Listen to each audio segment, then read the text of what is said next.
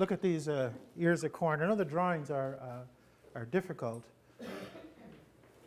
Now, remember we have 15, maybe 16 kinds of corn. Here's just a sample of some. But remember what I talked about? If you crack the kernel and you're going to see a different pattern inside the corn. So that dent corn we're looking at, see the dent that comes in here? It's got a very hard case. Where the other corn has got a lot of flour. So if you're making um, uh, corn bread, uh, you, you, want a, a, lot of flour. The dent corn also says has a higher sugar content. When it dries, it's like a raisin. You know, a grape turns into a raisin. It looks all wrinkly, just like old men. So what happens here is that because we're so sweet, we wrinkle up. She's laughing because she knows me too well. So, in terms of varieties of corn, we got popcorn, our ancestors used to uh, grow, flint corn, like the big long white one they're talking about, the dent corn, sweet corn, look at that, that's all sugar.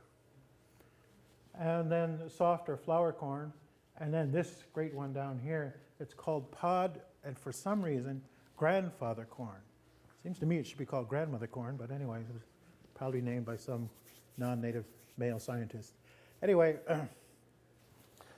so each one of us a long time ago would have to know a certain amount about, a little bit about each one, but kind of specialize as to what you're going. A really hard shell in the popcorn, that's why it explodes when, it, when, when, you, when you heat it up. The pod corn, interestingly enough, every kernel has a husk around it. Some people believe that's the very ancient corn. Now, I don't know how they prepared it because we've lost it. One day, a, uh, an agronomist from Cornell was visiting Tonawanda trying to find about old corns. Got to this one guy's house and he says, you know anything about this grandfather corn? And um, especially with old guys, it always used to be funny because you never know if they're actually telling you the truth or tricking you or just lying. So uh, he uh, said, oh yeah.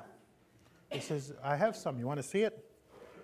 He reached under his bed, he pulled out this bag, and in there were a couple of um, these, they're real short, these cobs of this pod corn.